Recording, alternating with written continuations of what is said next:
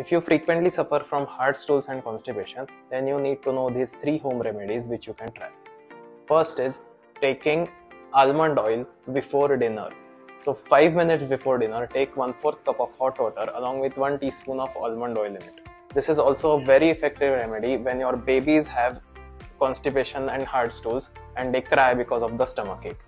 Number 2 is you can prepare oil from chinsa that is tamarind along with rock salt.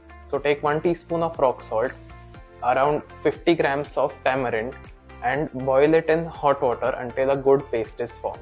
Now add equal parts of water and oil to this mixture and let all of the water evaporate so that only the oil remains. Strain this oil and take this oil before lunch and before dinner 1 teaspoon in quarter cup of warm water.